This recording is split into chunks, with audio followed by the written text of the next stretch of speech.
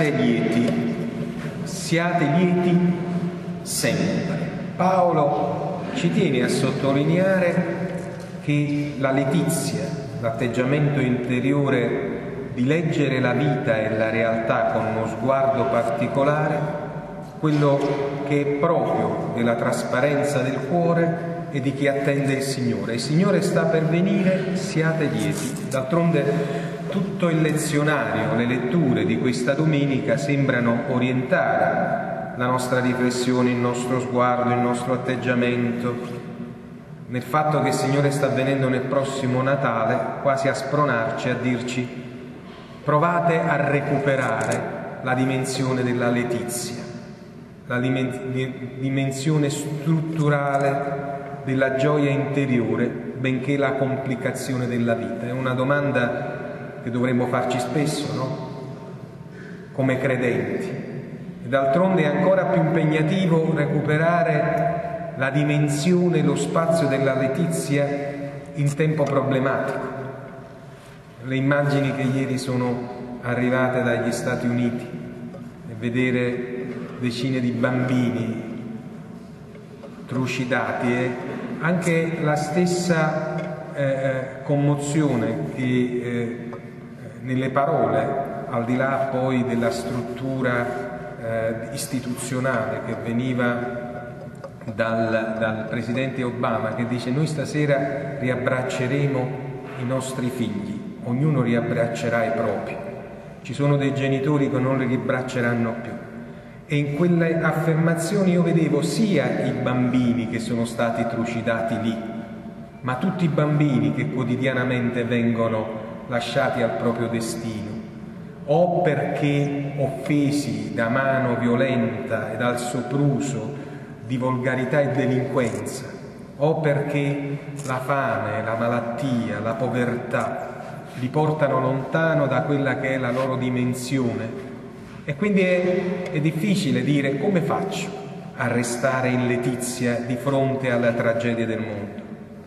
Oppure guardando quella che è la realtà cruda del nostro tempo, dove esiste questa quotidiana mancanza di prospettive, soprattutto per chi le prospettive le ha perse per eh, la mancanza di lavoro, per la quantità e la qualità della vita che si è abbassata, per eh, il futuro che manca, il senso e l'orientamento della propria esistenza mantenere letizia.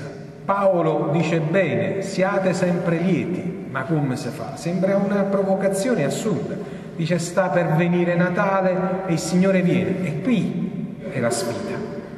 Ed è qui che si gioca la nostra fede, che da un lato deve fare i conti con la verità, perché l'uomo di fede non è lo struzzo che mette la testa sotto la sabbia, è colui che ha chiaro ed evidente la storia e il corso degli avvenimenti, li legge, li interpreta, li vive, li analizza, li soffre, ma dall'altro li coglie con una prospettiva diversa, la stessa di cui parlavamo domenica scorsa, se vi ricordate, che era una conversione, lo stesso Giovanni ci chiedeva di avere, di raddrizzare la via, che in fondo va di pari passo con una visione, una visione diversa della vita, con una visione del mondo con una sua capacità di comprensione.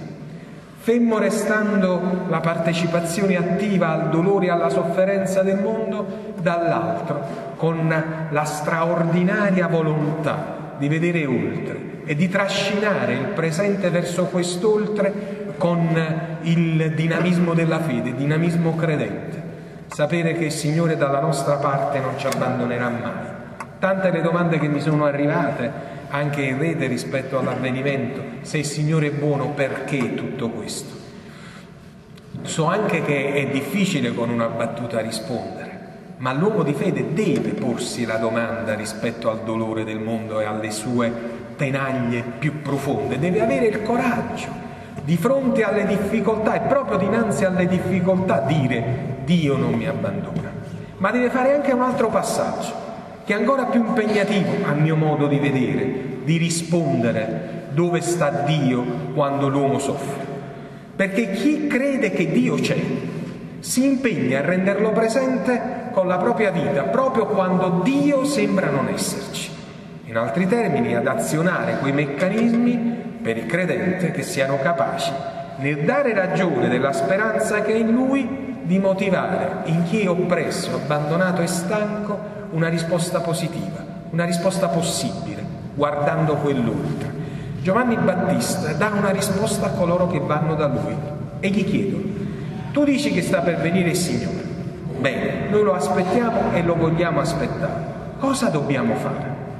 Che significa da un lato il desiderio dell'incontro con Cristo e dall'altro mettere in moto in se stessi una risposta che non sia soltanto ideologica, che non è soltanto sentimentale, è proprio per fare in modo che quella strada si raddrizzi, diventi una strada appianata, possibile da attraversare non solo da solo.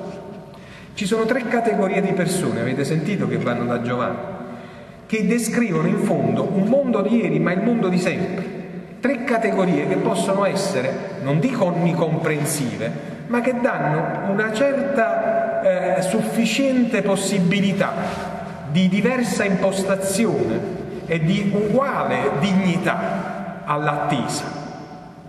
C'è la gente, ci sono i pubblicani, che si fanno battezzare ci sono i soldati. Tutti e tre vanno dal Signore, da, da, da, da Giovanni, gli dicono, sta per arrivare il Signore, tu dici che dobbiamo convertire il senso della nostra vita, che dobbiamo trovare luce in fondo al tunnel. Cosa dobbiamo fare per attrezzarci all'incontro? Alla maggioranza, cioè agli uomini, alle donne, alla massa, al popolo, dà un'indicazione precisa. Siate umani, dovete vivere di compassione. Non potete vivere al mondo senza sentire la sofferenza degli altri. Chi ha due tuniche ne spartisca una con chi non ne ha. Chi ha da mangiare faccia ugualmente. Poche parole per dire che per attendere il Signore bisogna essere uomini di solidarietà e di compassione. E guardate che dietro il vestito e dietro il cibo Esiste certamente in tempo di precarietà proprio il cibo e il vestito, ma dice tutto ciò che indica nell'altro la mancanza e la capacità di saper spartire quello che hai con chi non ce l'ha. La compassione, il grande tema che affascina tutte le religioni e tutti gli uomini di buona volontà, che mette insieme questa parola, saper entrare e vivere e partecipare alla sofferenza degli altri come valore umano non per niente la, eh, l'induismo, il buddismo, l'islam il cristianesimo e l'ebraismo hanno nella compassione il valore fondamentale del proprio eh, percorso. Compassione, avere la forza e la dignità dell'altro come proprio strumento di vita, come forza della propria esistenza. Aspetti Natale? Vuoi fare Natale? aspetti l'incontro con il Signore, cosa devo fare? Chi ha due tuniche ne dia uno chi non ce l'ha. Non pensare che poi la seconda ti possa servire per forza, ti serve di più se la condivide, così con chi ha il cibo. Secondo i pubblicani.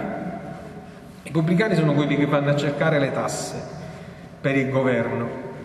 Ovviamente sarebbe gioco forza oggi dire cosa dobbiamo fare se ne parla tanto di sta pressione fiscale, cioè, non mi voglio addentrare in questo in quanto tale, perché Giovanni Battista sta indicando a coloro che hanno responsabilità di prendere e di consegnare in tutte le attività. Quindi i pubblicani sono quelli che prendono le tasse e le devono consegnare.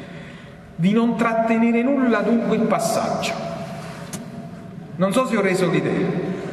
Quindi Giovanni Battista ha, sta dicendo che chi deve prendere e consegnare non trattenga nulla lungo il passaggio. Tu vuoi aspettare il Signore, usiamo il termine che forse è molto più chiaro. Eh.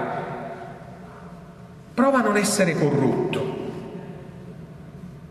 non lasciarti corrompere e non pensare che quello che stai prendendo nel silenzio nel segreto non si venga a sapere. Tu vuoi aspettare il Signore, quindi non è una questione semplicemente di, eh, eh, come dire, non è una, semplicemente una, di un segmento, è un atteggiamento del cuore.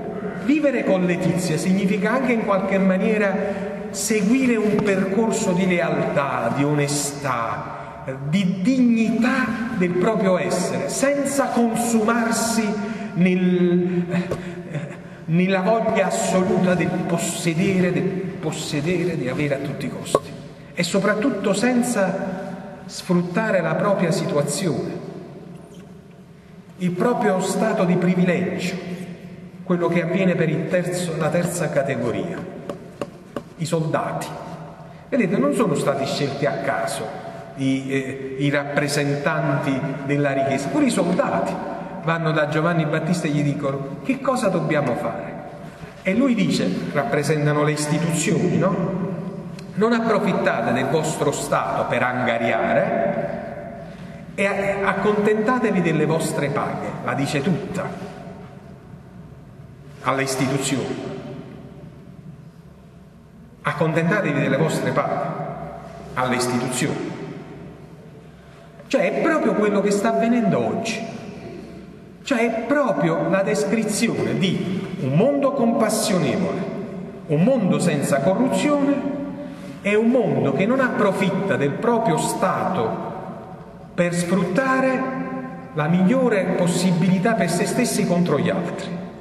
Allora Natale viene, dice Giovanni Battista, ma probabilmente non viene per te se tu non dai una risposta adeguata e poi non ti puoi lamentare se non vivi felice, non sei sereno, non sei in armonia con te stesso, non trovi pace interiore, non ti puoi lamentare. E non puoi pensare che la responsabilità sia del mondo generico per cui le cose vanno male, il mondo, questa parola astratta per dire tutto e per non dire niente, il mondo, il mondo va così, il mondo. Il mondo sono io, io, con le mie scelte, con le risposte che do, con la mia capacità di dire i miei no e i miei sì che non necessariamente devono seguire quelli della massa e essere giustificati perché così fanno tutti. Ma non è vero. Io in fondo al tunnel della mia vita voglio ritrovare la luce, la voglio ritrovare. E questo Natale per me deve essere un Natale diverso. È un, un tempo di crisi, è un tempo di difficoltà, è un tempo in cui sembra vincere ogni giorno la depressione sulla Letizia. E beh, c'ha da stare una ragione. E la ragione non può essere il mondo, non può essere il mondo, il tuo mondo, il tuo mondo, fermo restando che i guai della vita ci saranno sempre, in ogni occasione. E chi li vive e li subisce in prima persona sa che cosa significa vivere i guai, ma hai bisogno in qualche modo di vedere oltre. E il tuo mondo, se è caricato di fede, riesce a gridare Letizia, anche in tempo di lutto. E lo riuscirà a fare di più se è stato compassionevole nella vita, giusto e onesto nella dignità di essere uomo, capace di vivere la propria vocazione, il proprio carisma e ministero a servizio degli altri e non solo per se stessi. Nel momento in cui ho questa esperienza, questo carico, Certo io posso trovare delle difficoltà, amore di ma ho anche un guadagno. E fondamentalmente nel momento stesso in cui andrò a fare i conti con la mia coscienza, troverò la difficoltà di dovermi dire quanti fallimenti ho trovato, ma anche quanta gioia, quanta consapevolezza dell'altro, quanta luce che mi ha permesso di vedere anche nella notte più profonda. Natale sta per arrivare, figliolini miei, è un Natale diverso questo. E non è Natale diverso perché arriva dopo il 21-12-2012. È un Natale diverso perché questo Natale è il tuo Natale. È la tua esperienza con colui che viene nella tua vita, la tua vita, e ti dice io sto bussando e voglio entrare. Mi fai spazio e tu gli dirai che cosa devo fare? E lui ti dice, se hai due tuniche, danne una a chi non ne ha. Se hai un posto di responsabilità, non sfruttarlo soltanto per te stesso, ma vivi il servizio all'umanità. Se nel tuo cuore c'è la tentazione di essere fuori della linea della correttezza rispetto alle cose e ai valori che hai ricevuto, desisti. Non fare come fanno tutti, segui la voce della tua coscienza. E allora io entrerò e sarà finalmente gioia. Credo in un solo Dio,